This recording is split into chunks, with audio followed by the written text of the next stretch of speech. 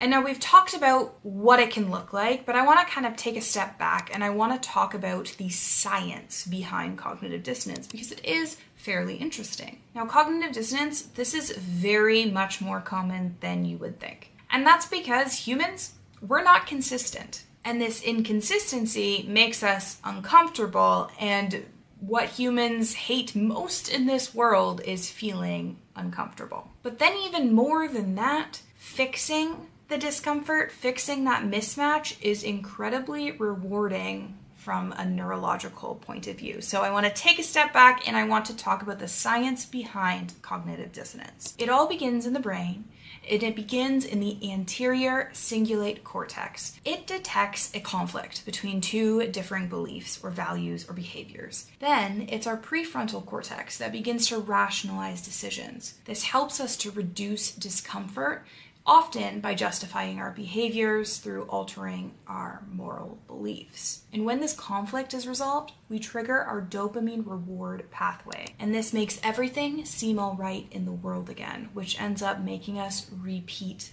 the cycle.